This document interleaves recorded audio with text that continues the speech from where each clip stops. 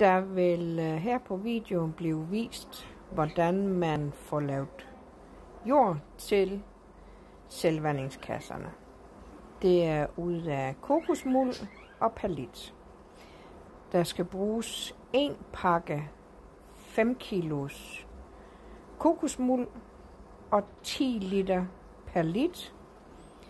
Ud af det får man en blanding, som passer til lige knap 8 potter fyldt til selvvandingskassen. Det vil sige, hvis man har to selvvandingskasser med tre på hver, så er det nok med en pakke 5 kilos kokosmuld og 10 liter per liter. Til pakken med kokosmuld tilsættes 10 liter vand. Derefter venter man, vender kokosmulden et par gange, lader den suge mere vand. Mulden vil optage vandet og blive til lækker muljord af kokos. Derefter tilsættes 10 liter perlit, som mixes ind i jorden til at gøre jorden dejlig luftig, som er godt for rødderne.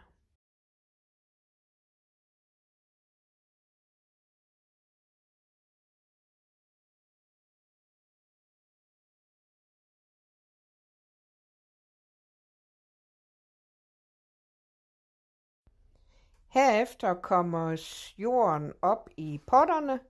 Man skal sørge for, at vægen forbliver i midten og når næsten helt op til toppen af potten.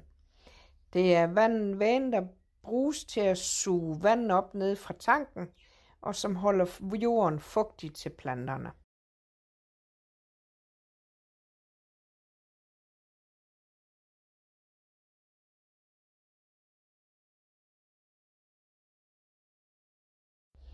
Man kan også bruge jord fra plantesække.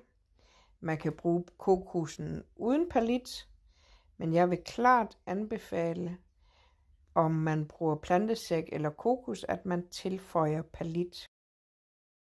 Her ses mængden af potter, som jeg har fyldt med jorden. God fornøjelse.